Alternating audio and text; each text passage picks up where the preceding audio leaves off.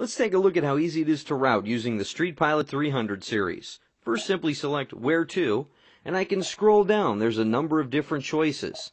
In this case, let's just really quickly find a food choice. Let's just choose fast food.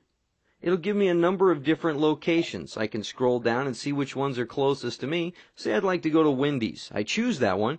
It gives me the address, even the phone number. By pressing Go, it will now calculate the route for me. Please drive to highlighted route. Again, by pressing the Turn In page, Turn right on Valesco Avenue. it will say the next turn for me, and it will also allow me to scroll through every turn that I need to make along the way. I'll choose Back again, Menu. In this case, I'm going to stop the navigation so I can find another choice. Press Where To.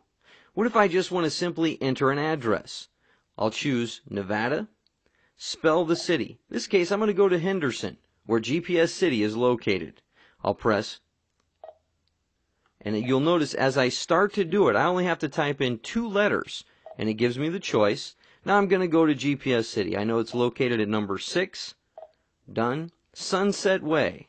I'll start typing that in. And it will finish it out as soon as it has enough letters. Done. And it gives me a number of choices. Sunset Circle Road Way, I'll choose that one. There it is, number six, Sunset Way. Once again, hit go. It will calculate and give me a highlighted route. The Garmin Street Pilot 300 series. Order yours at gpscity.com.